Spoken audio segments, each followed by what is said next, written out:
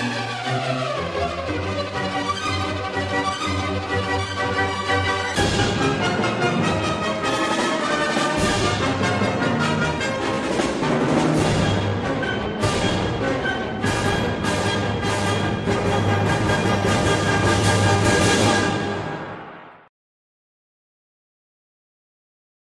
Bonjour et bienvenue au JT du siècle. En ce lundi 7 janvier, le journal L'Humanité rapporte que hier s'est ouvert à Genève le congrès de l'Alliance internationale pour le suffrage des femmes. Les délégués de l'Alliance de 36 pays vont se trouver réunis. On remarquera l'absence de la Russie et la représentation de la France par M. Justin Godard. Le but de cette alliance était, comme son nom l'indique, d'obtenir les droits politiques pour les femmes. Un des articles du programme de l'Alliance était ainsi conçu. Les États qui soumettent aux lois et à l'impôt le ressortissant femmes sans leur donner le droit, comme aux hommes, d'approuver ou de rejeter ses impôts ou ses lois, exerce une tyrannie, incompatible avec un gouvernement soucieux de justice. Il apparaît, d'après le programme du congrès publié par le Jus Soufrani de mai-juin, une discussion au travail sur l'égalité des salaires, le droit du travail et le droit civil des femmes. Au 9 juin, il y aura des conférences sur la situation économique des femmes et des mères, sur la lutte contre la prostitution en connexion avec les maladies vénériennes. Au 10 juin, il y aura des conférences sur la nationalité et le domicile des femmes mariées, sur le statut féminin en ce qui concerne les enfants, que l'Alliance se rend compte qu'elle ne peut plus se limiter à la question du suffrage et qu'elle doit s'annexer toutes les questions juridiques et économiques relatives à l'affranchissement des femmes.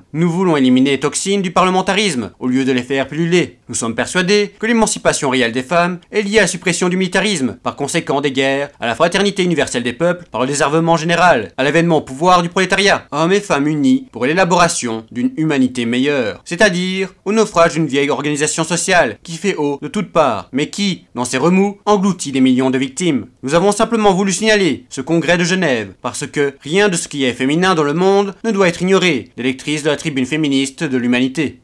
C'était le JT du siècle, l'info de notre histoire.